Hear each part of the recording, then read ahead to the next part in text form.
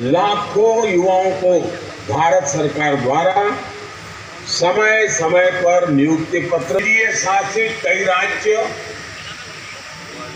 और केंद्र शासित प्रदेश भी और भाजपा सरकारें भी अपने यहाँ इसी तरह रोज़गार मेले आयोजित करने जा रहे हैं।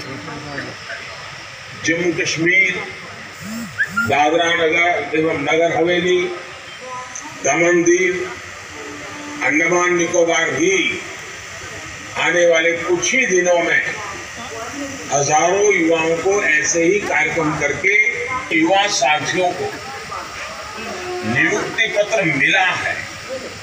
उन्हें मैं बहुत बहुत बधाई देता हूँ।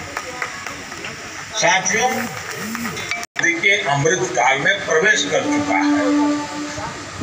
विकसित भारत के संकल्प की सिद्धि के लिए हम आत्मनिर्भर भारत के रास्ते पर चल रहे हैं।